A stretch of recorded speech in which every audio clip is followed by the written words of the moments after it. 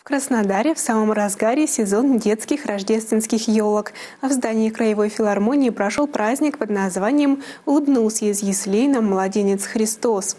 Мероприятие подготовил приход Свято-Екатерининского кафедрального собора Краснодара для своих юных прихожан.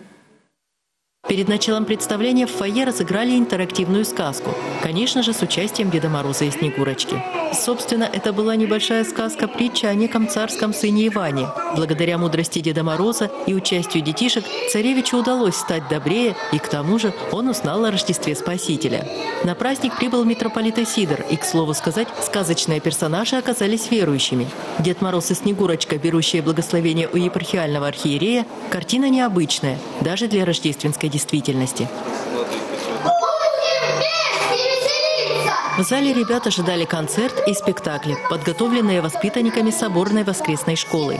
Но прежде юных зрителей поздравил с праздником Светлого Христова Рождества правящий архипастырь Кубани митрополит Сидор.